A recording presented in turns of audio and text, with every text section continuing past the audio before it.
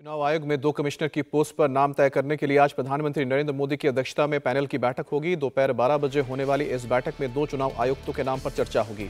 उम्मीद है कि आज शाम तक नए चुनाव आयुक्तों की नियुक्ति की घोषणा हो सकती है। संसद से नया कानून पास होने के बाद पहली बार नए नियमों के तहत चुनाव आयुक्तों की नियुक्ति की जाएगी। नए चुनाव आयुक्तों का नाम फाइनल करने के लिए बनाई गई कमेटी में पीएम मोदी के साथ एक केंद्रीय मंत्री और लोकसभा में विपक्ष के नेता अधीर रंजन चौधरी शामिल होंगे।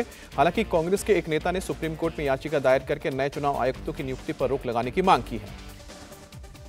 अब आपको बताते हैं कि आखिर नए चुनाव आयुक्तों की नियुक्ति के लिए क्या प्रक्रिया अपनाई जाती है। चुनाव आयुक्त के नाम तय करने के लिए कानून मंत्री अर्जुन राम मेघवाल और केंद्र सरकार में सचिव स्तर के दो अधिकारी मिलकर पाँच सदस्यों का पैनल बनाएँगे। इस पैनल में गृह सचिव डीओपीटी के सचिव शामिल होंगे। ये समिति उन उम्मीदवारों की खोज करेगी जिन्हें चुनाव आयुक्त बनाया जा सकता है। इन नामों पर आखिरी मुहर उस कमेटी में लगेगी जिसकी अध्यक्षता प्रधानमंत्री करेंगे।